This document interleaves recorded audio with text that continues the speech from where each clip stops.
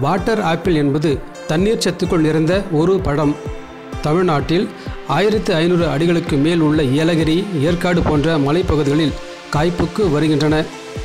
பெயர் water apple என்றாலும் தாவரவியல் ரீதியாக ஆப்பிளுக்கும் இதற்கும் எந்த தொடர்பும் கிடையாது. இந்த பழத்தில் தொண்ணூற்றி மூன்று சதவீத நீர்ச்சத்துக்கள் புரோட்டீன் கால்சியம் பாஸ்பரஸ் பொட்டாசியம் வைட்டமின்கள் உள்ளிட்ட நுண்ணூட்டச் சத்துக்கள் உள்ளன. மித வெப்பநிலையில் வளரும் வாட்டர் ஆப்பிள் மரங்கள் தரைப்பகுதியில் வளருவதில்லை. அப்படியே வளர்ந்தாலும் ஒப்பீட்டளவில் மலைப்பகுதியை காட்டிலும் வளர்ச்சி குறைவாகவே இருக்கும். இப்பழத்தின் தோற்றம் அழகுற காட்சியளித்த போதும் நீர்ச்சத்து அதிகரித்து காணப்படும்.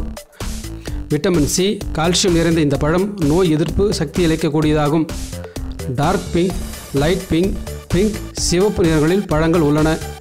மார்ச் முதல் ஜூன் வரை சீசன் இருக்கும். விண்பதியம் குச்சி பதியம் மூலம் நாற்று உற்பத்தி செய்யப்படுகிறது. பழங்கள் முப்பது கிராம் எடை கொண்டதாக இருக்கும். மலைத்தோட்ட பகுதியில் ஊடு பயிராக பயிரிட்டால் லாபம் ஈட்டலாம். தொடர்ந்து பறித்த பழங்கள் ஒரு சில நாட்கள் மட்டுமே பாதுகாக்க முடியும்.